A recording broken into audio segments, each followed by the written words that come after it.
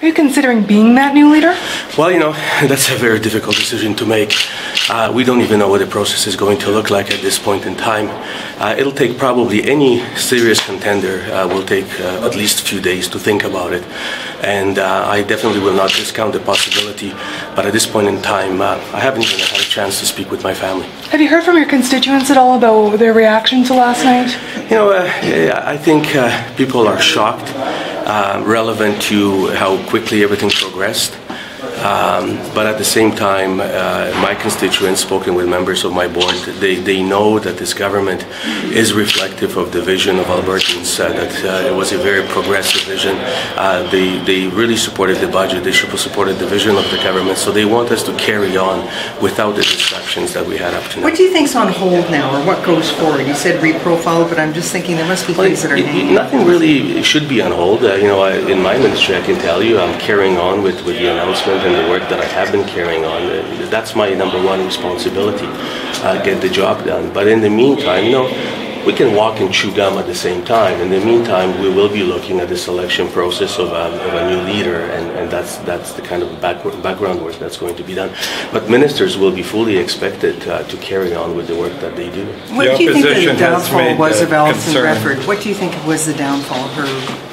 You know, hard to tell. Um, uh, obviously, many many aspects played into it. Uh, uh, I think historians uh, will have to take on the role of judging uh, what what their reasons were. That's not for me to judge.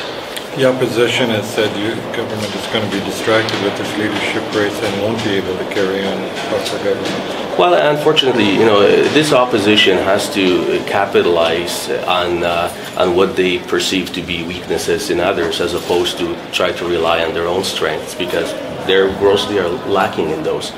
Uh, so they can say what they want. They have always been critical, and they will remain to be critical no matter what happens into the future. Uh, but the fact is that this government has a very high caliber of caucus members. We, we've been very lucky in the last election to attract um, Albertans from all walks of life, uh, uh, all um, orders of education, and, and, and, and just a, a cross section of what real Alberta is about.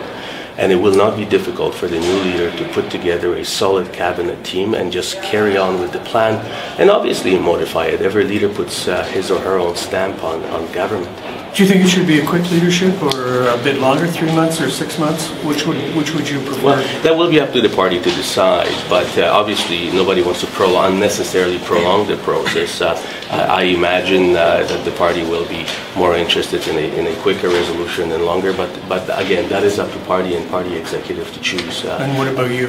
what about me? I'm not a party executive, so I won't have any say in that. Leadership races are often highly divisive. Are you concerned about this being a further blow to the unity of the party? Well, but they can also be a refresh button uh, at the same time. Uh, I, this team uh, in the mid-term of, of, uh, of our uh, um, of, of our electoral term is is uh, very much focused on delivering on promises to Albertans and providing Albertans with a solid government. So um, obviously, uh, politicians at the end of the day are humans, and, and, and there are um, some divisions, but the fact is that uh, working for Albertans and focusing on, on, on our number one priority being governing um, in the interest of Albertans uh, will, will overcome that. Thank you. Thank you, Thank everybody.